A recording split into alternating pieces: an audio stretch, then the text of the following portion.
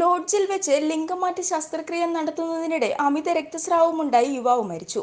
ആന്ധ്രാപ്രദേശിലെ പ്രകാശം സ്വദേശിയായ ശ്രീനാഥിനെയാണ് നെല്ലൂരിലെ ലോഡ്ജിൽ മരിച്ച നിലയിൽ കണ്ടെത്തിയത്.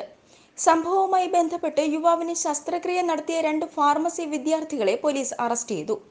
ബിഫോം വിദ്യാർത്ഥികളായ മസ്താൻ ജീവ എന്നിവരാണ് അറസ്റ്റിലായത്. വ്യാഴാഴ്ചയാണ് ശ്രീനാഥിനെ നെല്ലൂരിലെ ലോഡ്ജ് മുറിയിൽ മരിച്ച നിലയിൽ കണ്ടെത്തിയത്. ലോഡ്ജ് ജീവനക്കാരാണ് യുവാവിന്റെ മൃതദേഹം ആദ്യം കണ്ടത്. തുടർന്ന് പോലീസിൽ വിവരം അറിയിക്കുകയായിരുന്നു. പോലീസ് നടത്തിയ അന്വേഷണത്തിലാണ് ലിംഗമാറ്റ ശസ്ത്രക്രിയക്കിടെയാണ് യുവാവിന്റെ മരണം സംഭവിച്ചതെന്നും ഫാർമസി വിദ്യാർത്ഥികളാണ് ലോഡ്ജ് മുറിയിൽ വെച്ച് ശസ്ത്രക്രിയ നടത്തിയതെന്നും കണ്ടെത്തിയത്. ഹൈദരാബാദിൽ ജോലി ചെയ്തിരുന്ന ശ്രീകാന്ത് ഭാര്യയുമായുള്ള ബന്ധം ഉപേക്ഷിച്ച ശേഷം ഒറ്റയ്ക്കായിരുന്നു താമസം. അടുത്തിടെയാണ് ഇയാൾ ബിഫോം വിദ്യാർത്ഥികളായ മസ്താനെയും ജീവയെയും പരിചയപ്പെട്ടത്. തുടർന്ന് ലിംഗമാറ്റ ശസ്ത്രക്രിയ നടത്താനുള്ള തന്റെ ആഗ്രഹം ഇവരോട് പങ്കുവച്ചു. മുംബൈയിൽ പോയി ലിംഗമാറ്റ ശസ്ത്രക്രിയ നടത്താനായിരുന്നു ശ്രീകാന്തിന്റെ തീരുമാനം.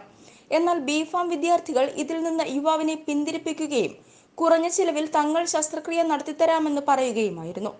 ശസ്ത്രക്രിയ നടത്താനായാണ് ശ്രീകാന്തും വിദ്യാർത്ഥികളും നെല്ലൂരിലെ ലോഡ്ജിൽ മുറിയെടുത്തത്. തുടർന്ന് യൂട്യൂബ് വീഡിയോ നോക്കി വിദ്യാർത്ഥികൾ ശസ്ത്രക്രിയ ആരംഭിക്കുകയും ചെയ്തു. ഇതിനിടെയാണ് അമിത രക്തസ്രാവമുണ്ടായി ശ്രീകാന്ത് മരണപ്പെട്ടത്. യുവാവിന് അമിതമായ അളവിൽ വേദന സംഹാരി നൽകിയിരുന്നതായും പോലീസ് കണ്ടെത്തിയിട്ടുണ്ട്.